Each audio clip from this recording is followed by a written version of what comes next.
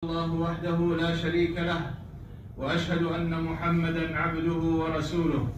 يا أيها الذين آمنوا اتقوا الله حق تقاته ولا تموتن إلا وأنتم مسلمون.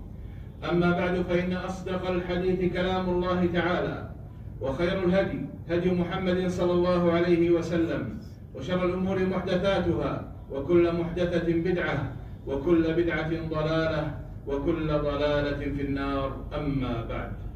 أيها المسلمون كل دعوة من الدعوات سواء كانت دعوة حق أم كانت دعوة باطل لها رجالها الذين يدعون إليها ويقنعون الناس بها ويصبرون على الأذى فيها ويضحون بأموالهم وأنفسهم لأجلها ولا يشتكون مما يصيبهم بسببها.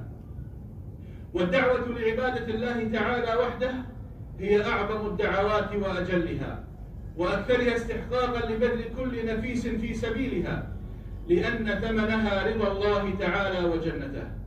وأي فوز أعظم من رضا الله من رضا الله تعالى على عن عبيده ومكافأتهم بالقرب منه في جنات الخلد والتنعم بالنظر إلى وجهه الكريم. جعلنا الله تعالى جميعا ووالدينا والمسلمين من أهل هذا الفوز العظيم. وأعظم الصبر وأكمله وأفضله صبر الأنبياء عليهم الصلاة والسلام لأنه احتمال للمكاره في ذات الله تعالى دون ضجر ولا شكوى. وقد منحهم الله تعالى من الصبر أضعاف ما منح غيرهم لأنهم يحملون أثقل ما يحمله بشر فيبلغونه للناس. ويصبرون على أذاهم بسبب تبليغه. وقد قال الله تعالى لنبيه محمد صلى الله عليه وسلم إنا سنلقي عليك قولا ثقيلا.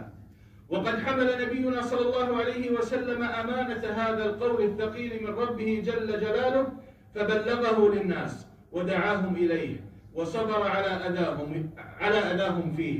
أذى القول وأذى الفعل. ومن أذى القول أنهم كذبوه واتهموه بالجنون والسحر وقال الظالمون إن تتبعون إلا رجلا مسحورا. وزعموا أن ما يأتيهم به من كلام الله تعالى هو من الوسواس والأحلام وأنه نظم شعر وسجع كهانة. بل قالوا أضغاث أحلام بل افتراه بل هو شاعر فليأتنا بآية كما أرسل الأولون. فصبر صلى الله عليه وسلم عليهم رغم ما رموه به من هذه الأوصاف البشعة زورا وبهتانا ليصرفوا الناس عن دعوته ويؤلبوهم عليه.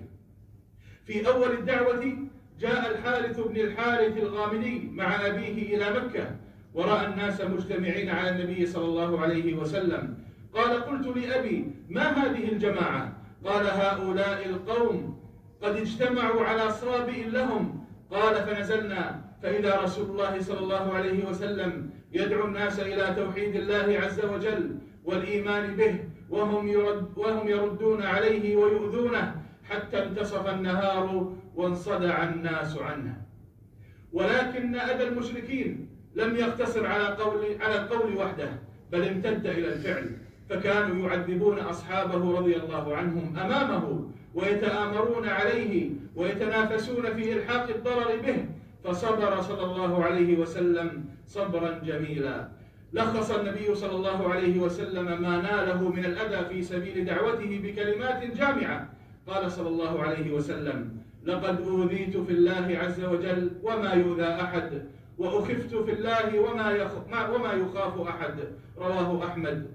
فلم يتنازل صلى الله عليه وسلم عن شيء من دعوته وصبر على أذى المشركين فيها امتثالا لأمر ربه تبارك وتعالى حين أمره بالصبر وحرصا على إنقاذ أمته بالإيمان من عذاب الله تعالى. فجزاه الله تعالى عنا وعن المسلمين خير ما يجازى نبيا عن أمته.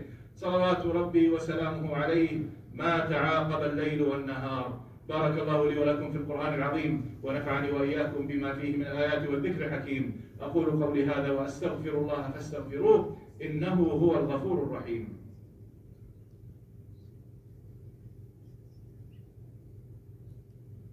الحمد لله وحده والصلاة والسلام على نبينا محمد وعلى آله وصحبه أجمعين. أما بعد عباد الله صبر النبي صلى الله عليه وسلم على أذى المشركين. طاعة لله تعالى. إذ أمره بذلك في كثير من آيات القرآن. فاصبر صبرا جميلا. وقوله تعالى فاصبر لحكم ربك ولا تطع منهم آثما أو كفورا.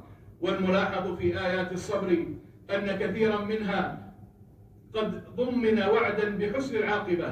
فاصبر إن العاقبة للمتقين. فاصبر إن وعد الله حق.